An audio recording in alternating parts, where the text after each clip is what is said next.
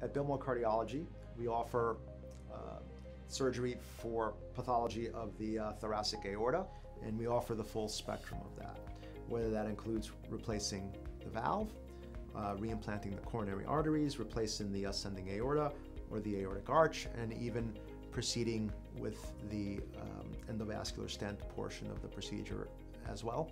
An aortic aneurysm, or any aneurysm for that matter, is uh, a bubble or a distension of the aorta. And why that becomes problematic is because of pressure relationships. Eventually, these are at risk of rupture or an aortic dissection, and they need to be addressed uh, with surgical replacement.